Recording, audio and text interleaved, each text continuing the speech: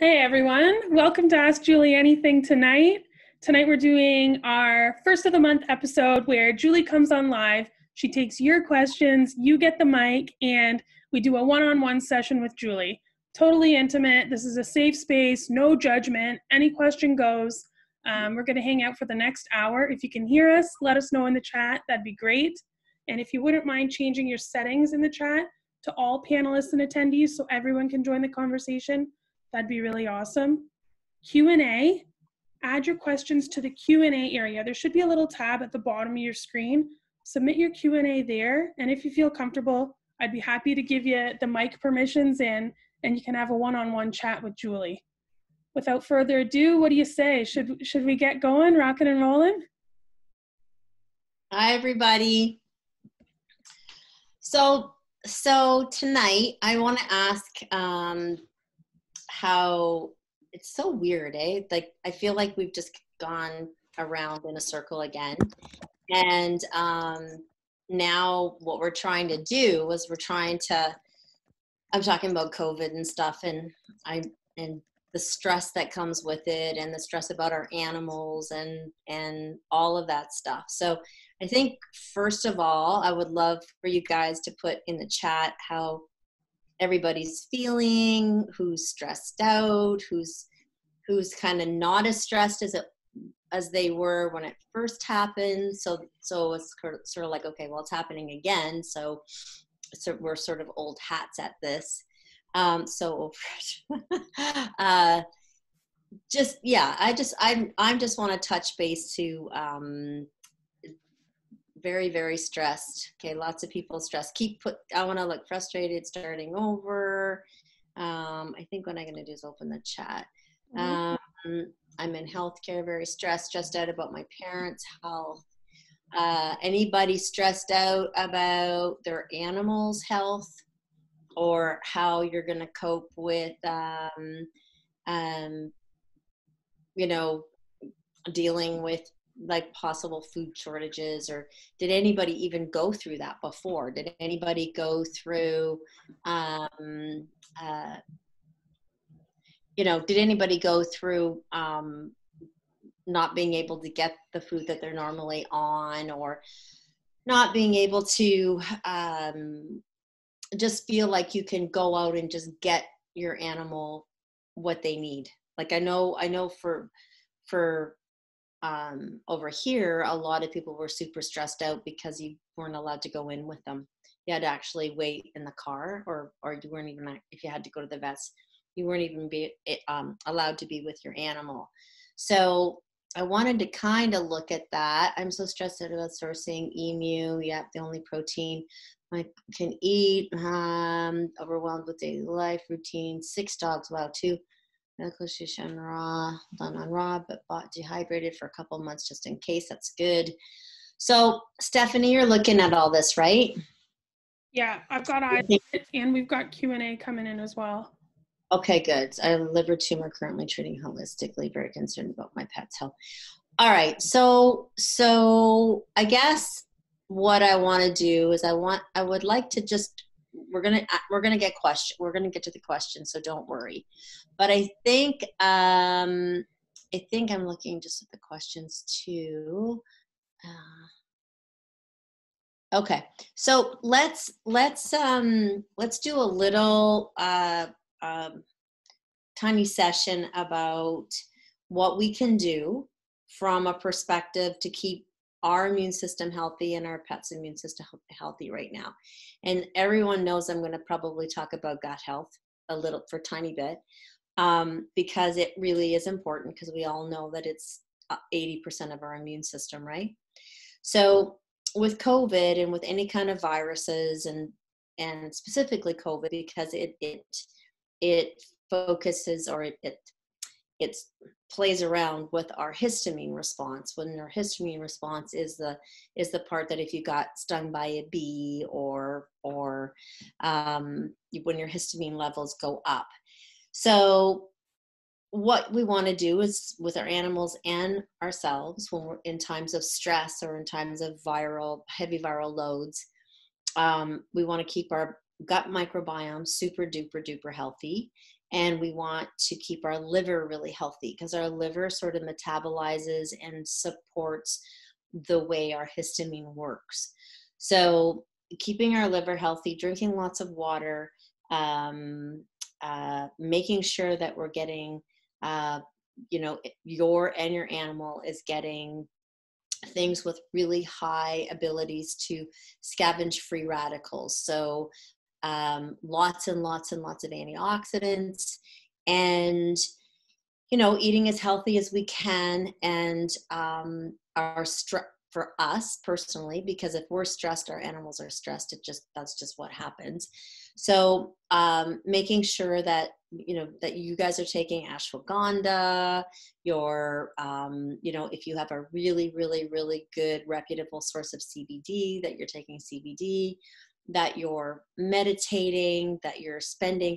For me i mean if, if people are going to have if we have to start going into lockdown then um really really trying to pay attention to it, it, for me what happens with covid that i think is beneficial for all of us is it it forces us to i always say uh, re-engage or um, cozy back up with our other senses. So when we're going through life on a day-to-day basis when we're not when we're not in lockdown or we can't go out as much we run a lot on our on our um, one part of our brain that doesn't use a lot of intuition. So it's the part of our brain that we have repetition and we have to keep um, keep ourselves amused and, and, and it's a part of the brain that needs to have stuff done to it. And that's what a, the majority of us run around doing until we're forced to slow down. So mindfulness and lots of stuff that you've heard way way before covid um, is a is a practice to be more in the moment but i want to look at it as being mindful but also using and strengthening our senses. So when i'm looking at my cat right now as an example and instead of just me looking at him i can literally look at my cat and look back. I know it's my cat but if I look at my cat and really notice like how his black stripes of the tabby part intermingle with the with his sort of taupey colored brown. How his ears are flicking right now when because he's listening. Just how this light that is in front of me shines off of him. I can look down at my other dog and i can watch the way he's breathing and i can watch like you can smells right? Like i can sit here and talk to you guys and, and be super engaged with you guys and not smell the fire, right? So if I'm really still, I can smell the fire. Now, what does this all have to do with anything? Is it's an amazing way to decrease your stress, increase our intuition, and really, really strengthen the part of the brain that gets flaccid that is linked to memory loss alzheimer's um, lots and lots and lots of age dis- diseases depression anxiety all of that stuff. So it, this is our opportunity to reconnect with our intuition and then when we come back out of it and believe it or not when we can reconnect with our intuition we really really really reconnect with our animals. So spending way more super focused time on our animals looking at things that that we don't even have time to look at when when we're busy running around. Um, and when we can reduce our stress levels we definitely reduce our animals stress levels. And um, that in itself will help with viruses exponentially. Because when we're really really stressed our bodies are in fight or flight. When we're in fight or flight we can, all that they're thinking about is that we're getting eaten eaten by a saber-toothed tiger. So we want to run and we want either want to run or we want to fight. There's no focus on immune system there's no focus on health or healing. So the the stress part of covid we really want to have try and support each other as a community um, to to not talk about everything that's gone wrong but help support each other in practices that we can that we can teach each other and support each other. Oh yes i tried this and it worked or i tried it but i could only do it for two seconds or like tapping um like when we when we think about meditation it's like how do you meditate in when you're that stressed? Well meditation can literally be five seconds. That that five like five seconds of meditation actually changes your your your heart rate level. And when you're meditating when you when you all of a sudden when you think of okay so let's say i'm trying to meditate right now and something comes into my head in the first five seconds that oh my gosh i forgot to email someone or oh my gosh i forgot to tell emily the girl that works for me to give one of the horses something or something like that. Just recognizing, being present enough in that moment to recognize that you had that thought is meditation. Because we have so many thoughts that we're not that we don't even know that we're having like 70,000 thoughts a minute or something crazy like that.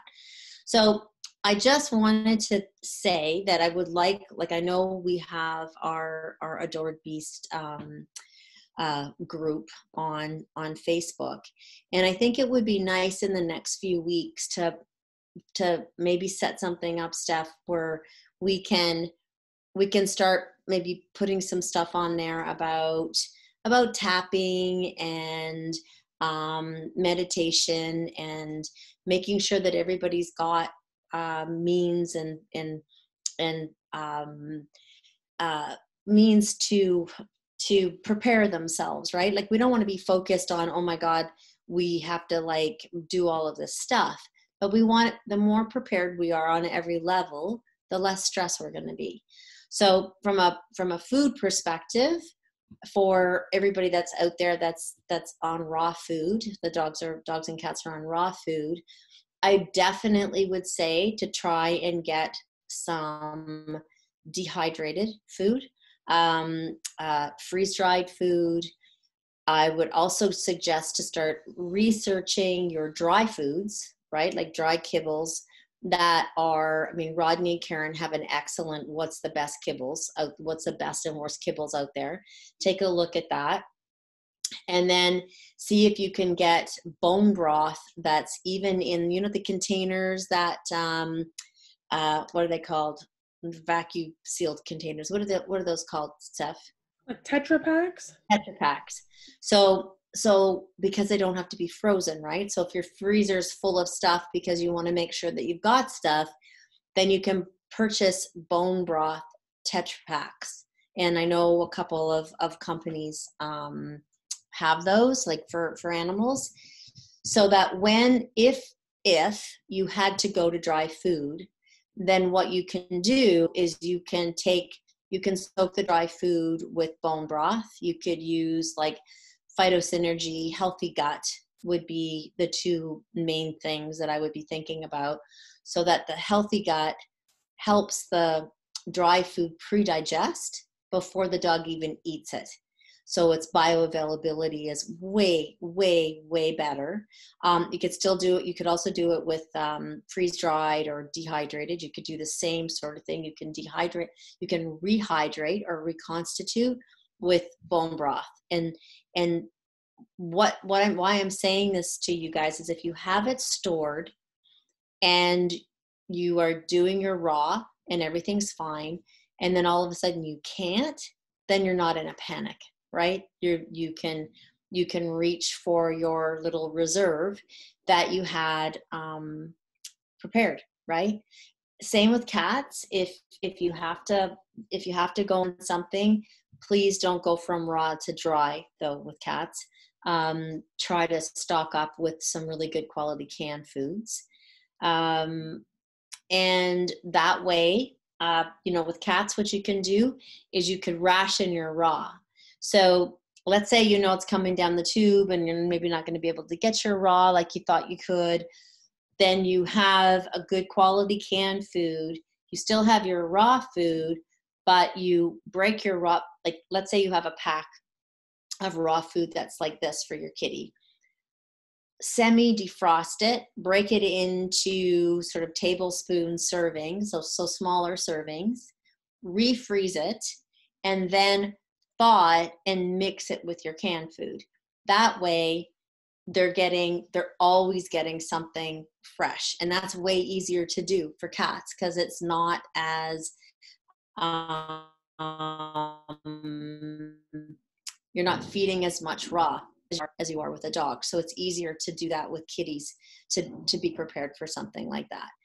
So all right well um let's steph did you want do we want to start going into the um questions now? Yeah yeah sure. Um, April has been using the she's been using the kefir mask for two days so far, and she's wondering she's seeing great results. Like she showed me a picture of the face cloth she's using to pat the dog after the mask has been applied. Okay. She said, "Any idea how long it can take to work?" Um, I remember being in Chicago and a, and a girl showed me this dog with like one of the worst atopic eczemas I've ever seen, um, a pit bull. And I think it, I think she wound up doing it twice a week, and it probably took three to four weeks, and it was a massive, massive difference. And awesome. it's so funny that she's asking that question because Rodney and I were talking today, and he's gonna he's gonna do a Facebook Live. Mm-hmm. Um, Rodney and I did a Facebook Live about our our, our mask, and now he's got some re- actual research showing um, confirming that that the the um, back the probiotics um, actually do work topically so it's awesome because it's confirming what I've said for about three years. And he's, I think he's going to maybe do it on Sunday. You guys should um, tune in to that because he's gonna he's gonna show that and I won't I won't wreck his surprise so that you guys. But today we were working with with one of one of our adored beast um, uh, probiotics, and we have another. He's going to show another little trick that that we've put together exactly for that. So I think he, like I said, I think he's going to do it on Sunday. Um, so you guys should tune into that because it's gonna it's going to alleviate the washing of the mask and the mess and all of that stuff. So, so that will be fun to watch. Awesome. Um, you can find Rodney on Facebook, Planet Paws on Facebook. And um, Crystal, you're asking where you find our face mask recipe. There's the link to our Facebook group, and it's posted in the files section. It's a little infographic with the recipe on there for you and what he's going to present on Sunday is still our our recipe, but it's it's changed from it's an it's a different recipe, so you can have two. You'll have two now. Excited! Cool. Thanks, Julie. Okay, Crystal. Uh, she's got a question. Her almost. Oh shoot, Crystal. Do you feel comfortable taking the mic? Look at me taking over. Crystal, here. If you want, you can ask your question. I gave you permissions there. You should be. Hi. Hey. Thank you so much. Um, so my almost 11 year old Havanese Coco Ella was just diagnosed with yeast in her ears. Um, she's also chewing her paws and her skin is pinkish. Um, we were at her internal medicine specialist who wanted to use antibiotics. I said no, and I immediately ordered the Yeasty Beast protocol. Um, my question is Coco has IBD, EPI, chronic pancreatitis, etc. Um, and I don't know if I should or can stop healthy gut and or gut soothe since they're helping her digest. Mm-hmm. Um, so wanted to know what you thought about that. And I also wanted to thank you um, for recommending Andrea Ring to me. Um, okay. I did I did consult with her and I just received the remedies today. So we're going to be starting them tomorrow. So, two things don't start the yeasty and the remedies at the same time. Okay. As what'll happen in that case, like like even though you've got our product i would say start with the remedies first because i'm telling you it's gonna it's gonna be amazing it's gonna help her exponentially for her pa- her chronic pancreatitis so um and then what i would do is once you sort of have that balanced i wouldn't normally i always say stop like stop anything with probiotics in it when you do the yeasty beast but what i would do instead with this because of because I would start off with probably I know this sounds crazy, but I would start off with an eighth of the recommend, recommended dose. And I would just add it. I would add that eighth of the recommended dose to her um, to her daily her daily regime instead okay. of stopping stopping it and just watch because then what that's going to do is it's going to um, um, it will it will help to fight the yeast, but you won't create um, a uh, like a, a Herx reaction, right? Like they won't die too quickly, which is always the concern when you're doing probiotics and a yeast detox, is that they'll yep. de- they'll detox fast. Okay. The last thing she needs. That's that's for sure. So I would um, I would definitely I would keep her on like liver tonic because that's that's important when you're when yeah. you're when you're dealing with anything like that. Liver tonic you don't have to worry about. Make sure in, in fact, you know, I would sometimes I was even doing liver tonic three times a day with with dogs like that. Um, okay. and then I would just start with a tiny little bit. And you know what, even you know when she's so sensitive with her her pancreas and stuff do andrea's remedies for maybe two or three weeks start an eighth of a teaspoon and go or an eighth of the amount and only start with the powders to start with for the yeasty beast the yeasty beast just start okay. with because the other like you're already on like you're already, already going to be doing liver tonic because I just don't want you to be on too many homeopathic remedies. And then you're not going to know what's what's doing what. Got it. Okay. Did she send you a, an acute remedy, like in case she got a flare up? Um. Yeah. Okay. Good.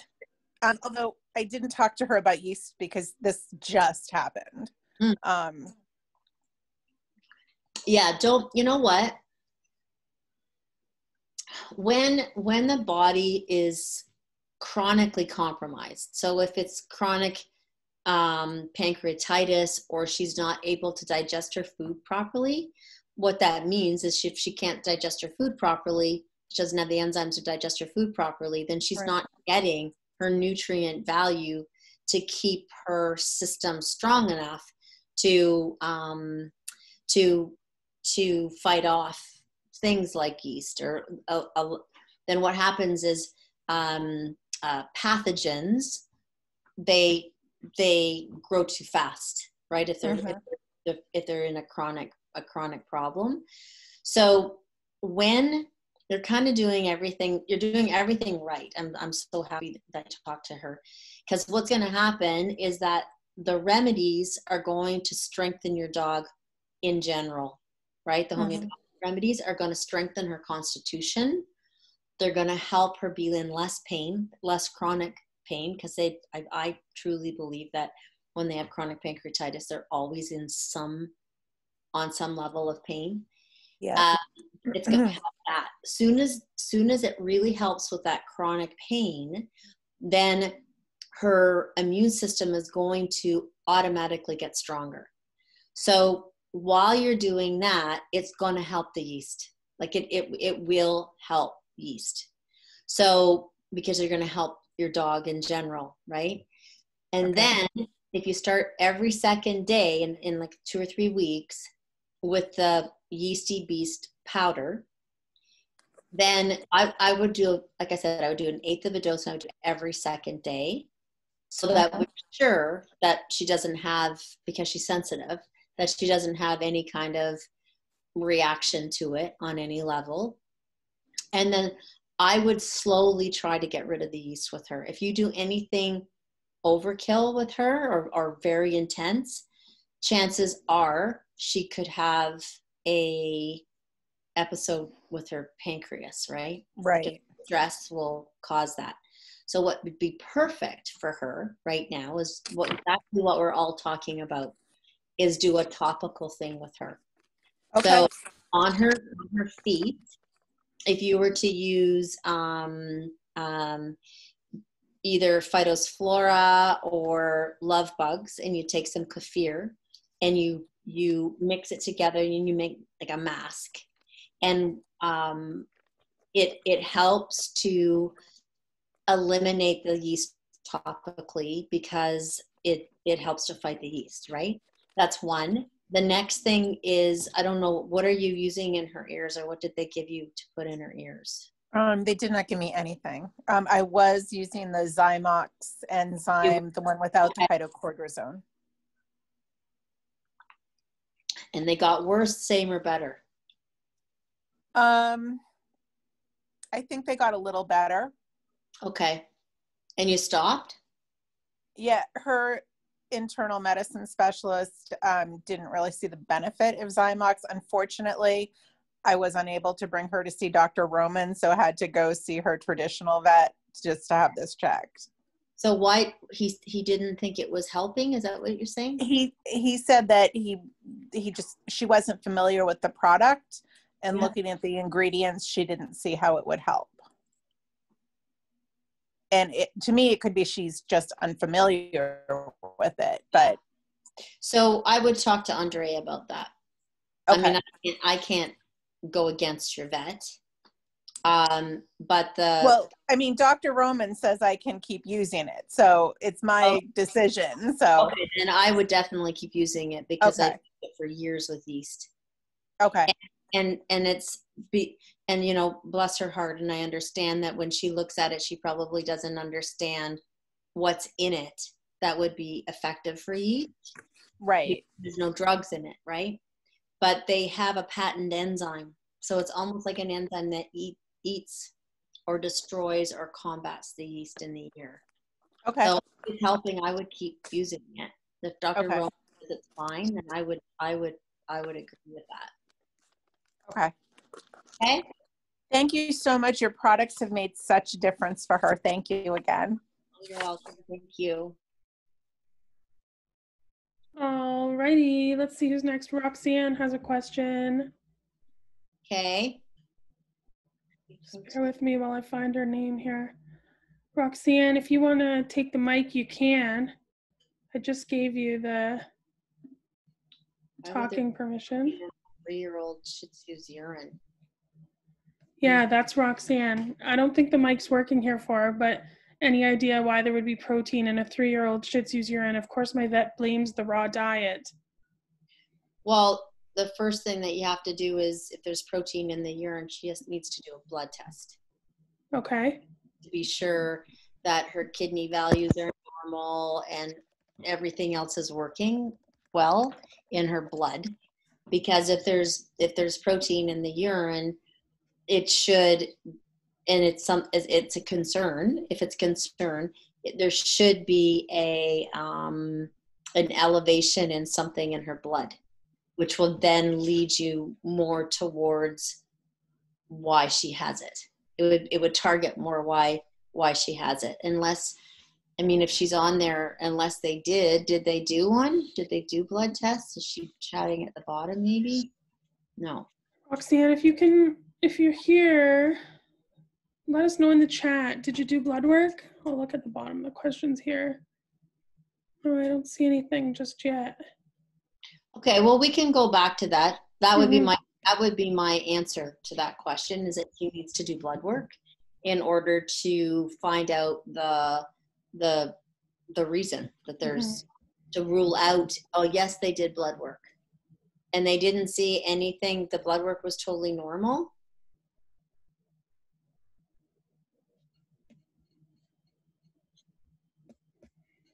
We can Uh, come back to that. okay. Sorry. right, if- Sorry, Roxanne. um yeah i mean that's there's a there's it also can be at what time of day that that they did it there's there's there's lots of different fluctuations for The blood work showed no elevation. Showed, showed the elevated proteins. The blood work did show.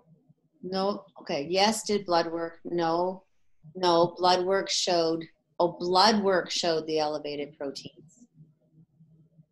Not the urine, or the urine and blood work?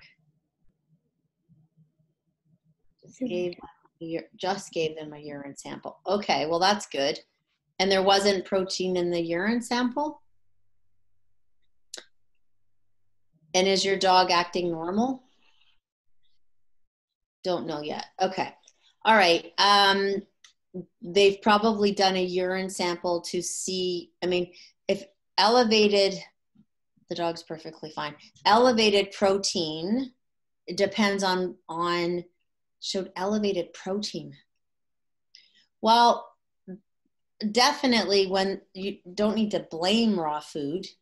Um, if they're the easiest thing to do is to fast your dog, take it in, and see if it was because your your she had eaten just just prior to having her blood work done, because that can happen. And blood tests are different with raw fed dogs, and if vets aren't used to looking at raw fed dog blood work, then they may feel that that there's a problem.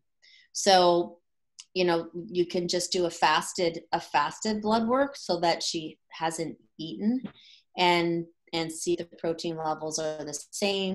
But it's it's it's almost impossible for me to answer that only because i don't know what was elevated right? Like i don't know whether her her like what part of her blood work um was affected. Like if her kidneys are infected or her liver or her her you know it, it would i would have to look at that.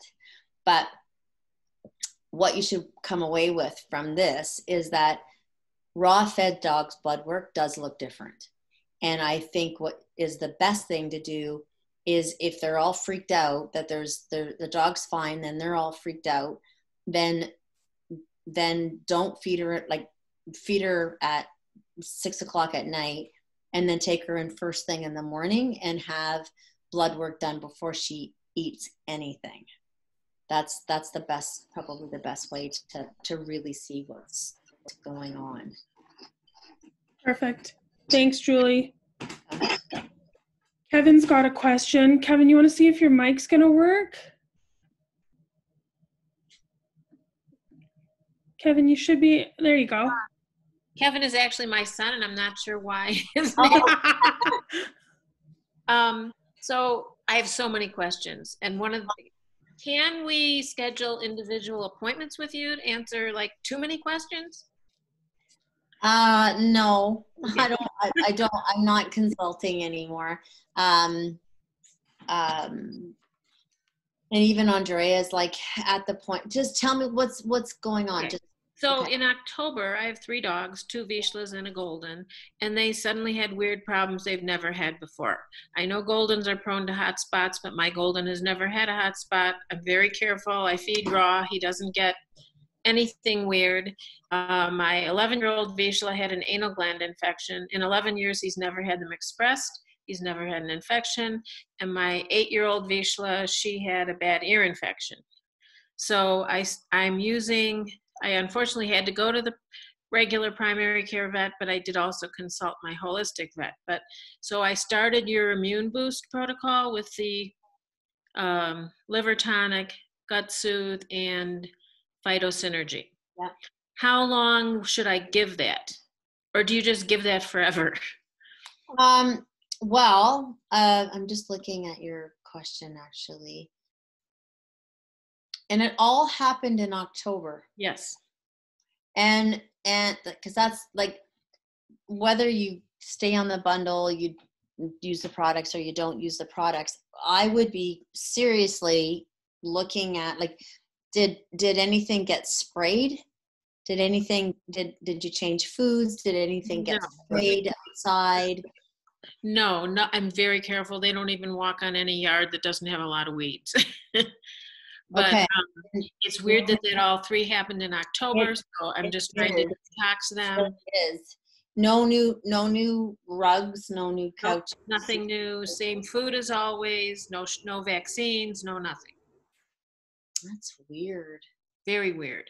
Mm-hmm. They But all, the only thing is, we spend part-time in Illinois and part-time in Colorado, and we did go back to Illinois for the month of October. And oh, it's the only difference. And is, and do you normally go back in October? Um, nothing's normal anymore. We, we Yeah. never spent so much time in Colorado, but we're in a rural area where we're pretty safe. Yeah. So we're trying to stay longer. Okay. Well, I mean, in October in Illinois, what was the weather? Damp, rainy, damp. Yeah. Leaves on the ground? Yep, lots of leaves. Yeah. So leaf mold, right? Mhm. They could they could have run through leaf mold if it was Yeah, really, that's what I wondered. Yeah, for sure. It, it it was probably something like that. So, um, yeah, the immune bundle is good. I would, I would possibly just talk thinking hot hotspots and what else? Ears and what else? Ear infection and an anal gland infection. Yeah. So He's that 11 and never had a problem. Yeah. Okay. So I would I would add the the powdered um I would I would add the yeasty beast to that. Okay. Mhm. And then I would also add phyto Fido's Flora to that. Okay.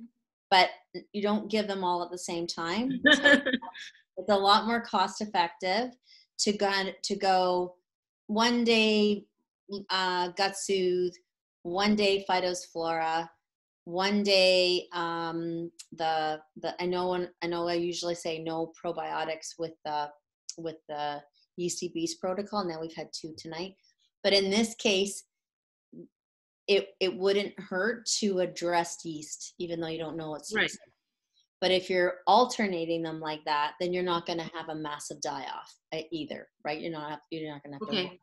having a huge die off. And then you just alternate the three, but then you always stay on liver tonic and you always stay on phytosynergy. Okay, That's and I can do that long term, correct? Oh yeah, yeah. Okay. I wouldn't stay on. You can do Fido's Flora and Gut Soothe long term. Yes. I wouldn't stay on. I would only stay on the because you're gonna do it every three, so that would be that would be three months. Probably no longer than th- three months. Three months for the Okay. the yeasty beast, and then I would take them off for three months, and then you can put them back on it after three months. Okay. And do you, does phytosynergy replace omega 3 capsules? Oh boy, here we go. Um, Can I gonna- just not give omega 3s, I guess, is what I'm asking if I give the phytosynergy? You know if you're if you're the the scary thing about omega 3s is making sure it's the it's it's not rancid and it's Right. a really good one.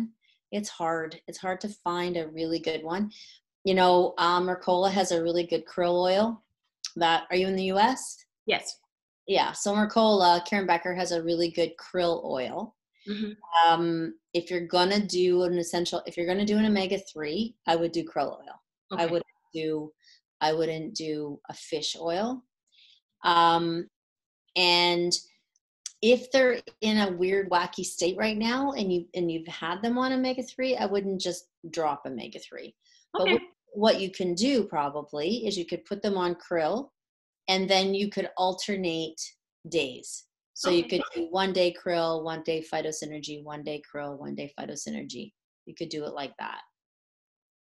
Okay, great. Thank you so much. You're welcome. And we're doing a study. So that's why I was like, oh, here we go. Oh. As soon as, because everybody's asking me that and, and it's just, you know, I can't, I can't say a hundred percent for sure. So we're, Adored Beast is actually conducting a study on that. Great. Thank you. I just love the products. Thank you. Okay, let's see. Susan, if I can find you here. Susan, if you want to ask your question live, I'm going to give you the mic right now. Okay, I think I think you can hear me. Yeah. And hi, Hi, how are you? good, thank you. How are you? Good. That's good. So uh, my question may seem dumb, but I do know a lot of people that feed raw, but everybody does it a little differently. Some people only feed one protein. One some people feed two or three proteins, but they may do it one week at a time. Yeah. I'm wondering, and almost no one feeds fish.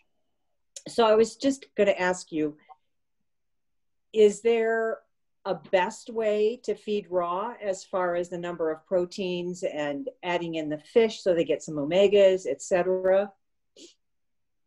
Um, I think that that obviously rotating proteins is the best. It's the it's the best way to try and make sure that they're getting a really large array of amino acids and different kinds of um, you know fats and different kinds of different amounts of lysine and the list goes on and on why that's a good idea when it comes to fish um, i would only do fast moving fish like sardines you know so because there's so when you're when you're purchasing um, when you're purchasing fish you would have to make sure that in my opinion that it's wild caught. It's it's not farmed. And um, you know you you do run the risks of mercury and things like that when they're eating large amounts of fish.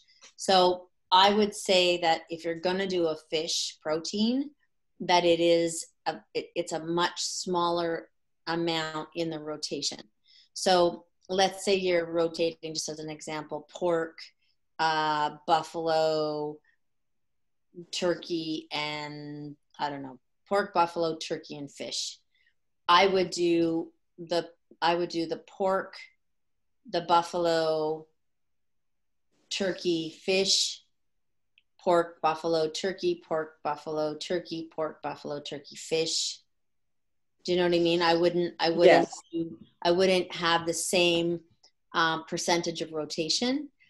Or if you if you if you want to have fish the other thing you can do is you can add raw sardines like you could have Okay. one, one raw sardine a, a day let's say in, in in with your pork or in with your beef or in with your bison or in with your buffalo or whatever what other other proteins that you're doing Okay, and then I also use the phytosynergy three times a week, just putting a you know the amount on top. Yeah. Um, I wasn't sure if that's a good replacement for doing fish or not. Well, it's, for me, I always love things that are that are whole food rather than extraction, like you know, like fish oil and things like that. But what I was just mentioning to the to the question before that, um, if you're gonna do, I I would rather do sardines than even krill, right? Like I Okay. would rather I would rather do um, like a whole sardine because then you're, Mhm. you're getting its brain and its eyes and its spine and it, you're getting everything. They're just like raw sardines, and so you're you're you're able to give your dog something that's a little bit more naturally species oriented um, whole. So you're you're able to give the organs and everything in it, right? Yeah, and actually I do that. So good. Thank you. Yeah. yeah that's a that's a good idea and then when you do the phytosynergy you're getting some you're still getting whole which is the coolest thing and why one of my favorite things on the planet is phytoplankton. Because when you get that cell when you're when when you or your dog or your cat or your whatever is ingesting the phyto phytoplankton your the body is getting the whole cell. So it's getting everything. So if that cell had you know the nucleus and the brain and the the blah blah blah blah blah you're it's not an extracted process where you're just taking parts of a plant or parts of uh, a turkey or parts of a fish or parts of you know of anything really right it's it's a it's a complete whole food nutrition Great. Thank you.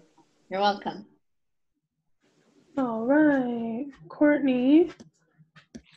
Are you comfortable taking the mic? If you are, go right ahead. Hi. Hi.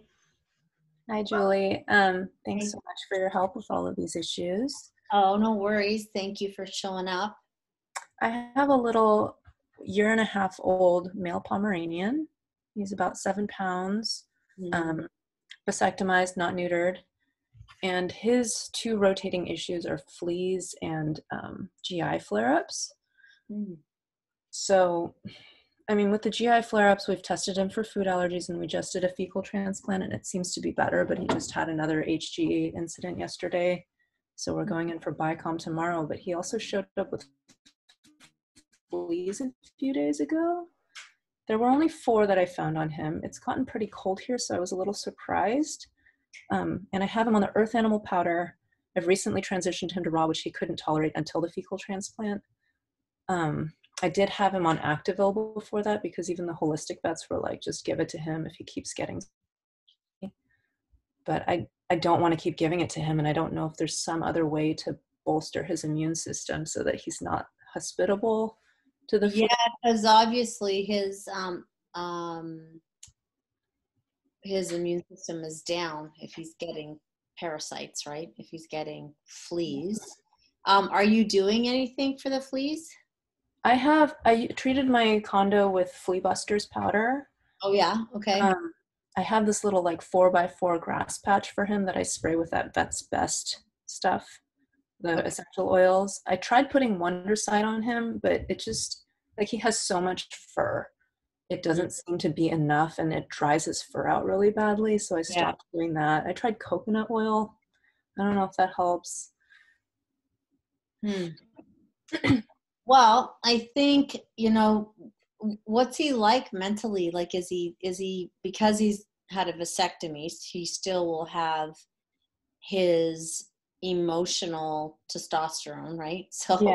is he is he really wired? Is he um, is he sexually repressed? Like, does he hump a lot? He doesn't hump a lot. He does really like female dogs, whether they're spayed or not. Um, Yeah. My parents have his littermate sister, and they have like such different constitutions. My dog sleeps a lot. He's always slept a lot, and his sister's like a little firecracker cannonball. Um, Hmm. She eats a lot more than him and poops less. Like, yeah, he's he seems kind of lethargic overall. Like just Obviously, tested his thyroid, right? Yeah, they ran a bunch of tests when I took him into the ER once. Um, You know was- what I would do with your dog? Just saying that, I would I would send I would try to get them to send a blood test to to um, Hemopet Hemopet? Okay. I think full his- a full thyroid panel. okay, full thyroid panel. Yeah, because a dog with his all of his hormones, um, that young, being lethargic is is uh, not lethargic, but like slow and and large amounts of feces and things like that. That's that's that that sounds very sluggish to me Yeah. and that sluggishness can definitely come from thyroid and hypothyroid can cause autoimmune diseases like did you say he has hemorrhagic gastritis is that what? Yeah. that- he gets bouts of it. yeah so i would um i wonder if sarah i know that Andrea is not taking any more cases but can you put sarah's can you put sarah's thing in the chat because um hemorrhagic gastritis can be really really dangerous right but uh, almost every single case that i've seen at my practice had an element of emotional emotional um, an emotional component to it Yeah. I'm hoping the BICOM will detect that. Mm-hmm. Yeah. So so in a home and homeopathic remedies are just I can't even tell you for for that emotional component it it can help it can help so much like mostly all the dogs that I ever worked with, I, I would use a remedy called carcinosin. And um, carcinosin is, is used for cancer or used for autoimmune diseases and used for um, animals that have sort of a repressed or, or suppressed emotional state where they feel like they are. That's the first reason. That's the first thing I thought because you know what? There are like I have to be really careful my dog's not neutered and he will get if he's he goes through his sort of male heats kind of. And he humps everything. Like my cats the like just he's just beside himself right? And i have to be very careful with him because he'll get GERD from it. Oh wow.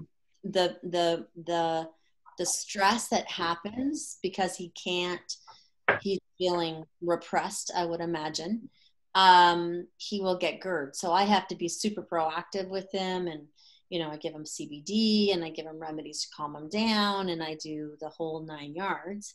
Um, but you know, it's it's don't get me wrong, like I'm not a I'm not a big spay and neuter component. Like I, I don't, you know, I, I have a I have a, a strong opinion about that. But I also um know I also know that in the in the day when we weren't spaying and spaying and neutering, and when we were um, feeling, you know, like that they were healthier with their with their sex organs, which they definitely are, they're breeding, right? Yeah.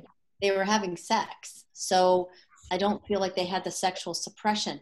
Males way more than females. I know lots and lots of intact females that could care less if they ever saw a male. you know, like, you know, they might, they might, you know, go into a false heat or not a false heat, a, a false pregnancy or something. But the the desire to have sex, I think it, it's it's much different. I think with with males, it's it's a it's a more repressed, suppressive situation. So for your pup, I would be um, I would be from a from a product perspective. I would have have you tried our gut soothe on him? Yeah, I've used it in emergency situations. Um, Okay. Right now, he can't be on anything because he still has to do his fecal follow up after the animal biome Right. Okay. Um, I have Gut Soothe, Love Bugs, and Healthy Gut in the fridge. Gut who love bugs, and healthy gut. Okay. So for your little guy, healthy gut might be a little bit too strong for him. Um, he doesn't have pancreas issues, right? It- They found an inflamed pancreas when they checked him, but it was like below clinical levels. But his holistic vet does have him on pancreatrophin by standard process. Okay, well that that's good. That's good, and maybe maybe a combination. But I would um I would definitely have them on phytoplankton. Okay. I actually just ordered some on your Black Friday sale, so I'm excited. Yeah. They they were doing studies with people with uh, inflammatory bowel disease and hemorrhagic inflammatory bowel disease. With Okay. that, and it it is it's really really really helpful. Gut Soothe is really helpful, and so is Fido's Flora, because the fulvic and humic acid help to um, help to detoxify, right? So chelation. And the other thing that it does is it's giving that that extra probiotic, that that strain, right? That's just from a dog. So it's a species oriented. And then they they're we're we're actually allowed now by to make health claims with that, that it helps the intestinal barrier and it it's an immune modulator. So so I mean, you know, we, we have a really good um return policy, like a really, really good one. It's ridiculous, actually. Um, so if you were inclined to, you know, return the love bugs, let's say, and purchase a phyto a Fido's Flora, what I would be what where I would be happy with that is because if your dog has an immune deficiency or an autoimmune, possibly even more of an autoimmune disease, the fight we can actually say now that it um, has an immune modulation. We can legally say that we can make health claim that, that it does immune modulation. So when an animal goes on prednisone, they go on prednisone to decrease the immune system because the immune system's too high and causing all kinds of autoimmune diseases like hemorrhagic gastritis or Cushing's or you know arthritis and and the list goes on and on or allergies or, and things like that. So they they try to they try to suppress the immune system they try to bring it down but then when when they well first of all it trashes their liver and their gut and everything but when they bring it down then they get secondary bacterial infection which is why they're often on antibiotics and prednisone. But the worst part of that is that when you take them off the prednisone the body has a natural rebound effect. So it's down down down. You're pushing like the water down and then all the water's not going anywhere it's just getting shoved down and then as soon as you take the band-aid off or the the the the duct tape off being the prednisone it explodes right? It, it, it it's like pushing something like this and then taking it off and it goes like that. Are you following me? Mm-hmm. so so Fido's Flora has immune modulation ability which means that if the immune system goes high it recognizes that it's going too high and it helps to bring it down. And if it goes too low, it helps to bring it back up. And those studies have just come out, Stephanie, what was that, six months ago, maybe? So, so um, it would be like any animals that are suffering with allergies or any kind of autoimmune diseases. Um, Fido's Flora is an incredible, really, really incredible product for them to be on for to help the body to learn to self-regulate. Okay. Do you think i should return the love bugs or the healthy gut? Because you mentioned healthy gut might be too strong. Um, no if he's got something going on with his pancreas i would return the love bugs. Because okay. love, bugs is in Fido's Flora okay. Right? And then use he's a tiny dog, I would use like literally I would use a sprinkle. Okay. So take take like literally take your fingers and take the healthy gut and sprinkle it around. Right? And see how he does on it. Because it it's a it's a really powerful digestive enzyme and it can help exponentially, but if you give too much, then it can cause diarrhea, right? If the bo- if the body's if it sort of digests it too fast or too quickly if an animal sensitive or their or their gut is um, it, it, doesn't happen very often. I'm just trying to be the uh, devil's advocate even if because it's my own product. But i'm i'm just trying to think of your dog has a very specific problem right? So um, what i would do that's what i would do is i would just give them small really small amounts of it in in every meal, just a tiny little sprinkle. Okay, thank you. Um, do you do you think colostrum would be helpful? Just as a final question. I do. Yep, I do. I think colostrum. I think colostrum is helpful if the body if he's immune compromised. But I find that there's a very gray area when something like this is happening and they're not sure. I mean, unless they've done IgA and and and all those tests to see that he's immune compromised, um, then then I would start off. Truthfully, I would start off with the Fido's Flora first and phytosynergy, and see what see what he's like, and maybe give Sarah a call, see if Sarah can get you some carcinosin or something like that. Um, and then because you don't want to stimulate the immune system if the immune system doesn't need to be stimulated, right? Mm-hmm. Thank you so much. You're welcome. Good luck. I'm. You know what? I've seen. I've seen lots and lots and lots of these cases, and I've seen them completely turn around, especially him being so young, like lots. Thank you. Thanks, Courtney. I hope. I no no don't don't worry. And when you're talking to Sarah, like I think you know when you're when you're dealing with something like this you have to be you have to be open to looking at it might not just be a physical thing it could definitely be an emotional physical manifestation of the two together in which case you can manage that and um and also the the um he's young. And i think i think if we can figure out why if enough people that are open-minded and work are working together on your dog there should be no reason why your dog can't get better especially at his age. Thank you.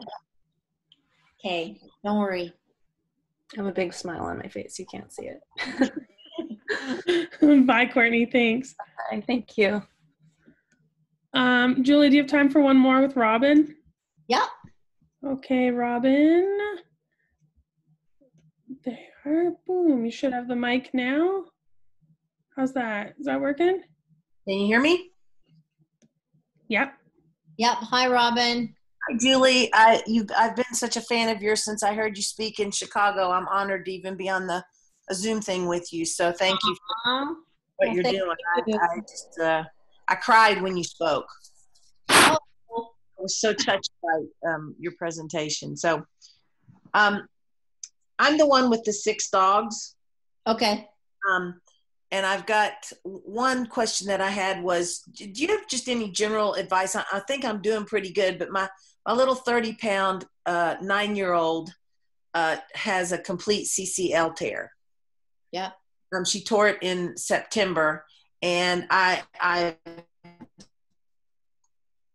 a holistic friend of mine uh, got me to put her on arnica and Rhus tox at the beginning and then I have a rehab vet. I don't really have a holistic vet here, but I have a rehab Yeah. vet who is doing uh, massage uh, exercises and laser therapy. Um, Okay. she's off the arnica and the Rhus tox, and so I started her on your jump for joy, joints yeah just to kind of be the, the continuity. She's doing really well. Well, I've got her. We do about eight or nine exercises a day, and she's probably walking on it 80 to 85 percent of the time without any issue. okay Um, I just wondered, you know, they had me give her um, extra omegas. So I've got her. I've had her on uh, Dr. Dobias's Feel Good Omegas, yeah and then she's on a, a green uh, lipped mussel um, supplement um, for that. But I, I just wondered if you had any general um, advice. I think we're doing pretty good. how But old is she she's uh, nine years old, nine years old uh, in really good health as far as I know. okay um and did did she did you see her tear it Uh, I did not, but they were out. My pack of six was out on the acre, and they were running with the neighbor's dogs, and she came in limping. So I knew when she did it, okay and I'm sure that's what she was doing when she did it. I'm sure they were. She it was when she was running the the fence line with the neighbor's dogs. and, and what is she She's called a comfort retriever. She's basically a miniature golden retriever. A min- how how much would she weigh you think She's about 29, 30 pounds. little and is she is she fit Yes. okay Yeah, and another thing I gave her, um, the rehab vet was really surprised because she didn't seem to have much inflammation. Um, I had been giving her uh, copaiba oil, Young Living. I use Young Living oils, and I, I take that for inflammation, and it had been recommended to me for her. So I was putting that in a capsule um, a couple times a day. So she she really hasn't had much. I mean, I've not seen any pain or anything like that. and when did they do surgery on her No, this is No. all conservative management. Yeah. Okay, good. Okay, okay. So yeah, because anything, any t- kind of tears like that, it's always interesting. I did a, I did a rehab course. Oh my gosh, like 2006, I think, in Florida, and I did it with, um, I would say, the majority of vets uh, from a veterinary perspective. There was physiotherapists there. There was all kinds. But from a veterinary perspective, I would say m- the majority of vets were orthopedic surgeons. Wow. And we had you know a big debate on why all these animals were tearing cru- any cruciate ligaments. Like why why are cruciate ligaments so prevalent now? And um, i would say that probably 80% of the vets believed that they were they were autoimmune autoimmune autoimmune responses. So that the that the the destruction of the ligaments were happening before they actually slipped on the mud or you know lost control playing or or whatever. The dog uh, we like when i was doing my tech stuff um we had we had the only time we'd ever see any kind of cruciate tears or anything any ligament tears were in really big obese dogs we never saw them in labradors and bichon frise and mixed breeds and stuff. And now it's almost like everything has them right? And and any age and any weight. So i feel like you're doing a really good job. You're doing you're doing everything right. Um, i would i would add two things to that. And one would be again to make sure that her immune system is functioning in a homeostasis or a balanced state that it's that it's not too high. Because when again when it's too high it's it's as unhealthy as it being too low. So um, making sure that she's got really really good gut health uh, so that you're feeding her great food and you're and you're giving wonderful um, you know you're giving you know good omega 3s but if that gut lining is as she ages or whatever whatever's going on if for whatever reason the that the gut lining is becoming semi permeable right which happens with age what happens with you know being on the ground and closer to um, chemicals and stuff from from the ground your you you will never ever if i tell anybody anything ever you will never go wrong with with making sure the permeability of the gut lining is, stays intact stays really really healthy. That will help your animal and its longevity and its and its um, ability to fight off different kinds of diseases, including arthritis and things like that. More, probably more than anything. Yeah. So, she, she, um, uh, you know, they, uh, she, all my dogs are not vaccinated. Yeah. Um, I don't use chemicals. I use um, nematodes for fleas and ticks. You know, yeah. they don't do anything like that. They they have had an occasional um, mercury free rabies shot. I did. She's been on raw for about three or four years completely. Okay. Um, I did when I was in Chicago. Uh, talk to the AnimalBiome people, and I actually bought. They gave me a deal for all six dogs, and Hannah was one of mine that they said needed some work, and so she's just uh, right before this tear was almost finished with um, their protocol uh, for the fecal transplant. Um, That's interesting.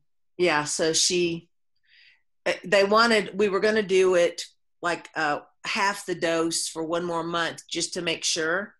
Um, mm-hmm. Although they said you could stop right now, but you know, I thought, well, heck, if we've come this far, I might as well. Yeah, yeah. You know, but then the tear happened, and uh, when I called and talked to them, I said, should I wait to do that last month till I get her a little bit more stable? And they said yes. So we kind of put that last little bit on hold, but they they felt pretty good about her her gut health after a month on the the capsules. But mm-hmm. she's my guys um, eat like uh, some protein grinds. Um, they usually have uh, go between two and four different proteins in the month. They get farm fresh eggs two or three times a week with the shells.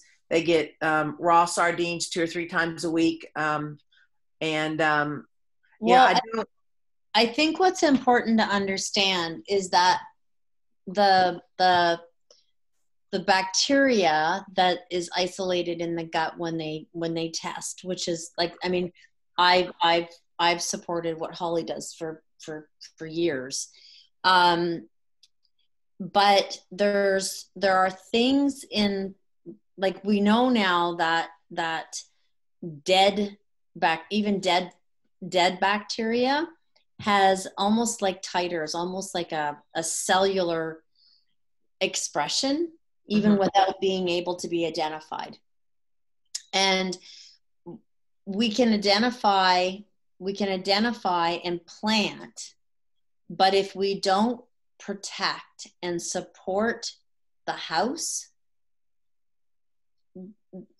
we're, we're still we can still be in a fluctuating situation when it comes to overall health. Okay. Does that, does that make sense? Yeah. So the bacteria is is vital. It, it, it is the foundation. But if the home of the bacteria is not is is at all permeable which which really doesn't show up a lot in testing mm-hmm. it shows up more in symptomatology so i'm a you know i mean you know you guys all know that i'm doing cancer research with universities and things like that so i'm i'm a bit of a nerd when it comes to research and labs and all of that stuff but i but i never lose sight of symptomatology. I never, ever, ever lose sight of what am I actually looking at. I can look at this piece of paper and I can read everything that it says, but then I can also look at this dog or cat or horse or person and see something completely different than what I'm seeing over here. Right. This this has to match with this. And if it doesn't, then there is there's there's something missing that may not be able to always be detected through a blood test, through a, a through a test, right? Right. So yeah. Right. So so if I always say if it's not counterintuitive, if it's not going to cause harm, and and we know that it's important, then we should pay attention to it. So and for me, that's emotions, right? Like we've got to pay attention to emotions a lot more than we than we do and we also need to pay attention to the home within where that that mm, where, where the microbiota live right so right. the permeability of the gut and the integrity of the gut lining so what would you recommend in that in that regard what, well, what you... that's our Fido's Flora. that's the whole okay. reason that we came out with Fido's Flora is to be, be sure that we're that well first of all the that we're in we're planting a species oriented probiotic right? So there's a lot of incredible people out there doing incredible things. They're still using bacteria that isn't canine species right? That's not canine specific. Okay. Fido's Flora is the only one out there that is canine specific and it comes from fecal. It's, it's, it's almost like what, what holly's doing. She's implanting canine fecal material, right? Fido's Flora is canine fecal material, but it's been fermented. So we remove the pro- the possibility of a um, of a of a when you put a whole when you put a whole feces when you're doing a transplant you're transplanting everything, right? Including like, I mean, now they know if they do fecal transplants with mice, if if you take it if you take it from an aggressive mice and mouse and you put it into a mild mouse, that feces into the mild mouse will have the expression and create can create that mouse to be aggressive. Are you following me? Yes. Mm-hmm. So it's like putting you're you're putting it's almost like a donor. You're taking it's like me taking a kidney and giving my kidney to you my dna and all my cell expression will go into you and then your body will either accept it or reject it depending on your your immune ability and and your immune system and your body and how healthy you are and stuff like that so when you do a fecal transplant that body has to go through that process of accepting it, accepting this donor. So we took it one step a little different, where we took the feces, we isolated 11, and then we chose two out of the two back, we chose two bacterias based on their ability to modulate the immune system and fight um, fight or suppress or keep in bay uh, um, pathogenic bacteria. So that that was one of the reasons that we chose those two. So, but when you give it to them when it's been fermented, you don't have that fear of it of it um, of it acting like a donor, like the rejection part of it. Okay. So that's the, the cool thing about having that probiotic and and I like doing both. Like I, I love the, the fecal the fecal transplants and then I love the long term using the fermented canine feces probiotic because that's something that you can do on a daily basis. And then the the fulvic and humic acid in it has has um, been proven to repair permeability. Oh, sorry, repair permeability of of the of the gut lining, right? So Henry, um, every time I produce something, I try to look at it systematically and not just focus on one thing. So if I'm going to formulate something, it's not just going to be just for the let's use liver tonic right as an example like like Fido's Flora addresses um, bacteria.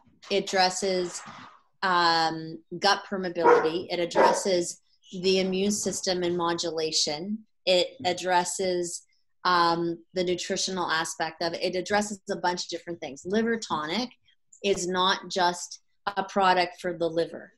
When I when I formulated liver tonic, it it supports the liver, the pancreas, the gallbladder, and the kidneys, and that's because I look at things sort of systematically, like body systems, so that because if if your if your liver starting to get trashed or your dog's or cat's liver values or kidney values are starting to look like they're being affected every other organ is naturally affected because it all compensates for its partner organ so the detoxification process of it right uh, so yeah. i think i think that that um that's how you can look at Fido's Flora the same way i i, I formulate everything is from a much higher level than just looking at the gut or just looking at the liver or just looking at the joint so like like the joint stuff that you're using right now mm-hmm. that i created that in my clinic for for cruciate ligament tears that's that's how it happened mm-hmm. i started producing it for animals that were that had torn cruciate ligaments or anterior or it didn't matter just ligament ligament tears because if you just if you look at joints joints are um hang on one second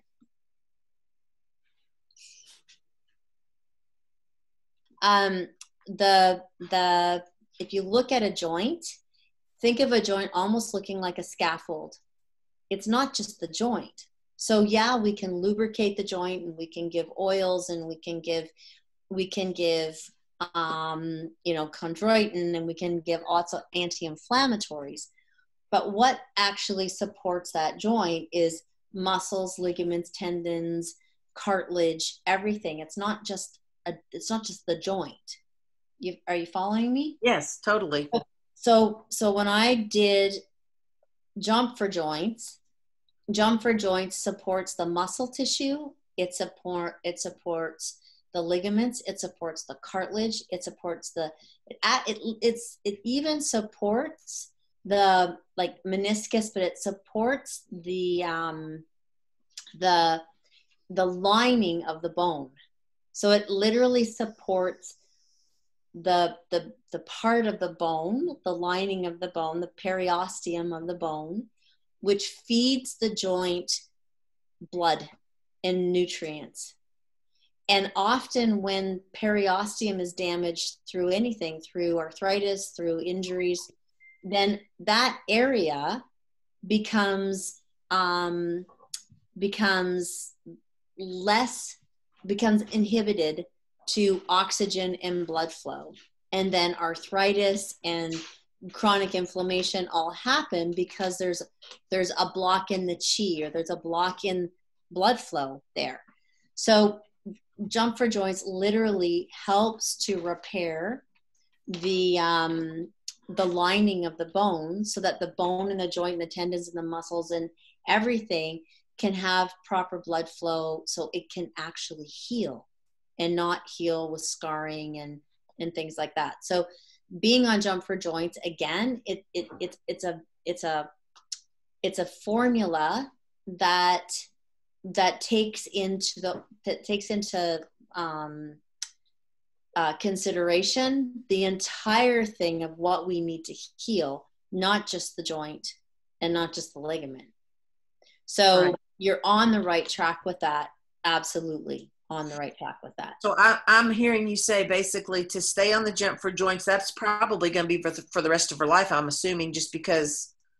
But not so often. Like when she's acute, or even the first, you know, first three weeks to a month, she can be on it three times a day. And then once she starts becoming like less and less, and really like she's had three, four, six months of not seeing anything, then you can reduce it probably three months, then you, three, four months, you could reduce it to twice a day. And then a month later, you could go to once a day. And then she could, if she's doing awesome, like amazing, then you could just give it to her twice a week. Okay. A maintenance. And then right. is it the the Fido's Flora? Um, I'm gonna I, I want to add that because I understand what you're saying. Should I should I do that without finishing up the the other that I was doing? Um, you can finish. You can finish. you can finish the other one. I mean, I don't. I don't. I know lots of people that have done both, right? Because I do really support Holly's work. So, um, you know, I've I've I've had people do Holly's protocol, and it's been too much for the dog, right? Like it's the they the the body's rejected it, so then they'll uh-huh. they'll talk to me. So we'll start them on Fido's Flora, then put them on on the tra- on a transplant, and then they wind up being able to completely accept the transplant after after the the the, the gut is sort of in a better condition to be right. able to accept it so right? as, as, i'm weaning her off can she go ahead and be on the Fido's Flora too or should i wait till she's weaned off the transplant? I i don't see i don't see why she couldn't be. There's no harm in asking asking holly asking her what she thinks about that. Okay. But i don't i don't see any harm in it. I but again you know, I think it's always best to ask them and see yeah. and see what they think if if they think you should you should finish it first or not. I'm lucky because I'm really in a place of um, trying to be more preventive with her. Yeah. Because she really has done well on everything so far. And yeah. So I'm really just trying to make sure we're on the right road to get the best, most permanent, complete outcome for this. Yeah, for sure. For sure. All right, that helped me so much. Thank you so much, Julie. You're wonderful. Well, and it sounds like you're doing you're doing an excellent job. I'm I'm really I'm happy. You, six is hard. I, you know, I oh. it's hard for me to give supplements all the time. I, I wrote my question, and you know, a lot of my supplements I just do on an as needed basis, which isn't yep. always great. But I mean, it's just you know, I'm well, spending about seven or eight hundred dollars to feed them. So so listen to this because I have I do have a pretty strong opinion about that, especially with animal because I've worked in rescue for so long, right? Like in my clinic, we did I don't know thousands of animals in rescue, right? And they're you you know they they can't afford it all the time, or they can't um, you know you just you just can't get it into them right it's just impossible so i i think that i mean that's the other thing that i did is that when i created my pro- products i created them to rotate them. So if you're doing a supplement like let's say you're doing phytosynergy right? And then phytosynergy is something that that if you can afford it i i would i would love to think of it being every day and sort of the same as Fido's Fido's Flora but you can you can if you have these supplements you can i don't know whatever you've got but they should be able to um, address certain things. So you you should be able to do sort of either one day of this one one day of that one one day of this one one day of that one and then that that makes them last longer so it's less expensive right? It's more cost effective or you can go okay so i'm going to use this one until the jar runs out. That's what i've done with my products is i try to make it as easy to think about as possible. So you do use one jar you run out of it you go to the next jar. You run out of that one like a different product. Then you go out of that like you finish that one then you can go on to another jar. Don't don't um you might want to find for everybody either through your food or through um, a supplement to be sure that everybody's got a, a good essential fatty acid profile right? Okay. so whether you're it's less expensive for you to buy frozen sardines like we talked about yeah. and just give everybody a sardine every day right? At least they're getting an omega fatty acid daily. Then the next thing would be a good probiotic and then the next thing would be something to be sure that they're getting amino acids and antioxidants. So your your omegas are going to help with heart and eyes and everything. Your your your your probiotics is going to help with digestion of all the amazing stuff that you're feeding and immune system. And then your your um, antioxidants are going to help to derail um, your the, the cells becoming rusty. That's really what an antioxidant is right? It it it, it helps to uh, keep the cells healthier so that the, the, the cells don't um, degenerate as fast. Right. And and then even if you were to rotate all those three so you have those three things but you rotate them even. So I feel like I do rotate pretty much in the as far as food. You know, like like yeah. I said, they get sardines about three times a week. They get tripe every day. Okay, good. Which is a good. Yeah. Um, so, um, but you know, I, I'm always looking for better ways to do it. I, you know, I just I'm trying to do as much as I can. When that girl, girl said that she does, I think phytosynergy. She tries to do phytosynergy twice a week or three times a week. That that's really helpful because it's it's got it's so potent that it it the amount of superoxide dismutase in it will really really help with longevity with keeping cell the cells healthy. So you know even if you were to do something like that and just do it really sporadically like even start off with giving it to them once a week or twice a week.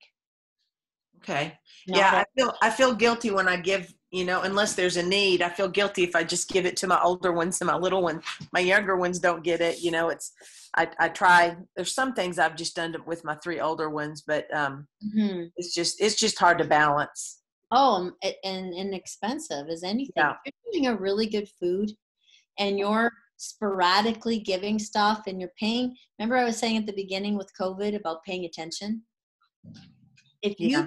i can guarantee with six dogs, if you can try and pay attention as best you can and not be off like you're doing something wrong or you should be doing more or you're worrying about something, if you can pay attention and you have the right products and you start to have that gut sense, you can derail so much stuff. It's incredible.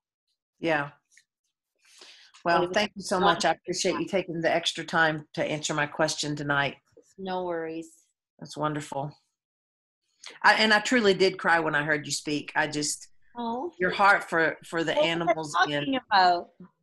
it just it just uh I it made me cry. I just thought, wow, this is the most incredible lady I've ever heard talk about stuff like this. Oh, So thank you for all that you do, and I know everybody on here feels the same way. You're you're just uh, we're blessed to have you as a resource. Thank you. Oh well, I feel equally as blessed to have all you guys supporting me. So, and supporting the bigger picture, which is education and animals and our in our in our our bond with them, because that's that's sort of all the reason why we're all here. Yeah, some of my dogs were in um uh with a, a like a breeding with the breeder, so they were bred a couple times. And Mhm. so I'm connected to a lot of the people that have puppies from my dogs.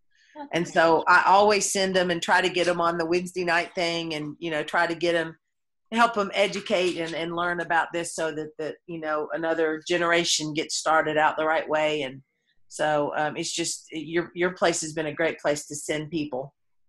yeah and and you know feeling connected like as this group as small as it is or as big as it gets or you know just that that you know especially with covid and the weird place that we're in in the world right now just knowing that that there's a commonality or a bond or you know we're all thinking kind of on the same level or you know like you just have a community which is really important Yeah, and the last time I talked, uh, I had a question. Um, you gave me um, somebody to consult for one of my dogs. It's got really bad, so I'm just in the process of getting that connection done. I kind of got sidelined when uh, Hannah tore her CCL, but um, I appreciate that too. So it really is a, a beautiful little community, yeah it is it's, it's pretty special and Stephanie's great. I love she's she's such a great contact, and she's a, a great asset for your company. So Cut it out. She sure is. there's, no, there's no doubt about that. Okay, you guys are gonna make me upset. Thank you. thank you. All right. Thanks, everybody. Are we good, Steph? Or Oh yeah, you guys just buttered me up, taught me taught me for the last hour and a half. Yeah, that was that was totally amazing. Thanks everyone for joining us. I know there's a lot of questions that we didn't get to. I mean, it happens to us every single time. Kaylin's on standby though. You can always send her a message. She answers the email. I'll type it into the chat.